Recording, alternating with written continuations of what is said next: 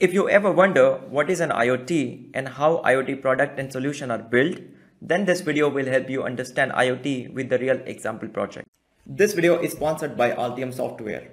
Altium is the PCB design tool I used in my very first job when I was working for a company in Germany. Using Altium gives you two advantages in my opinion. One is that you can really build the professional skills and the second one is you can not only build a simple small circuit but you can build a really complex high-speed electronic circuit using Altium PCB design. So claim your free trial today with the link in a video description or somewhere in a comment section and I'm sure you will enjoy working with Altium. IoT means Internet of Things. IoT is an ecosystem built with a network of hardware, server and software. These are three components to build any IoT architecture. Let's understand them one by one. The first component is a hardware which could be an IoT devices or a gateways. Then comes a server which is usually referred as an IoT cloud platform. And finally comes the software, means a web dashboard or a mobile app or even a voice apps like an Alexa. While building any IoT product or solution, we will have a sensor, say for example LM35, which is an analog temperature sensor. This sensor is connected to microcontroller or microprocessor devices which one can refer as an IoT devices. We can consider these devices, IoT devices as an Arduino, Raspberry Pi, Node MCU, ESP8266 or ESP32 like devices. The sensor senses temperature data and sends it to an IoT server using a network protocol like MQTT or HTTP.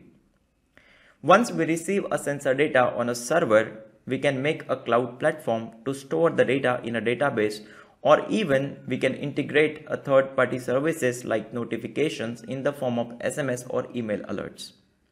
We can use this data in the database for analytics or predictive maintenance in industry. Further, the data from the server will send it to a custom web dashboard or a mobile app. This client and server communication happen again over network protocol like MQTT or HTTP. It depends on a use case which protocol one can use. But altogether, we can live monitor or control devices in a real time from anywhere in the world. As this complete ecosystem of a hardware, server and software stays connected with internet, we can call this as an IoT enabled temperature monitoring solution. And when it comes to controlling devices remotely, something like a light bulb, let's say we press the button on a web dashboard and the request goes from the web client to the server and then from the server to an IoT device. And finally, the device gets notified to turn on the light bulb. This is how we can remotely control and monitor devices using IoT. You may have got an idea by now. To build an IoT product or solution, we must know many things, such as interfacing of different analog and digital sensors, working knowledge with the cloud and server, and also software application development such as web apps, mobile apps, or even modern days voice apps like an Alexa and Siri. To learn more, check out our high quality courses to become an expert of an embedded system and IoT. We provide high quality courses to teach you the latest technologies and tools to become a successful product developer. I hope you have learned something about an IoT architecture in this video. I request you to check out our Node MCU ESP8266 playlist for more practical IoT projects and learning material. Believe me, it's awesome.